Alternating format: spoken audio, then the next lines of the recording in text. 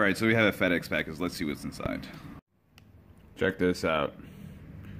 With instructions. This is a MacBook G3 board, and this guy wants to update it to a G4. Um, so this has a bunch of uh, configurations, jumpers that need to be changed to change it to from the 550 megahertz. It also supplied a resistor. Um, so this might be fun to work on. Okay, so this is the daughter board with the G3 chip. When he wants to upgrade it with this Motorola chip, it's uh, pre-balled already, so that makes this process a lot easier. Um, however, this will be a two-part series because um, I would like to make sure that everything here, I have another board here to try with, but I just want to make sure that um, this will withstand the heat, this little um, mount over here. So I'm gonna do a little bit of testing before I start.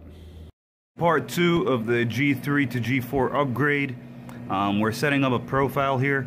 I have the thermocouple reading and I wanted to read the temperatures and uh, hopefully this would get it to go for the first try um, but let's see um, the first test if it doesn't go we can go for another one so we did get a clean lift here um, so it's time to clean this up and uh, put on the new chip and here's the chip right now so before I put the main chip on I'm going to um, do the resistor configuration um, right here I gotta move uh, 126 over and 129 over as per these instructions. So let me move those over and then I'll do the rest. Just like that, we have a Motorola chip and uh, this has been upgraded to uh, G4.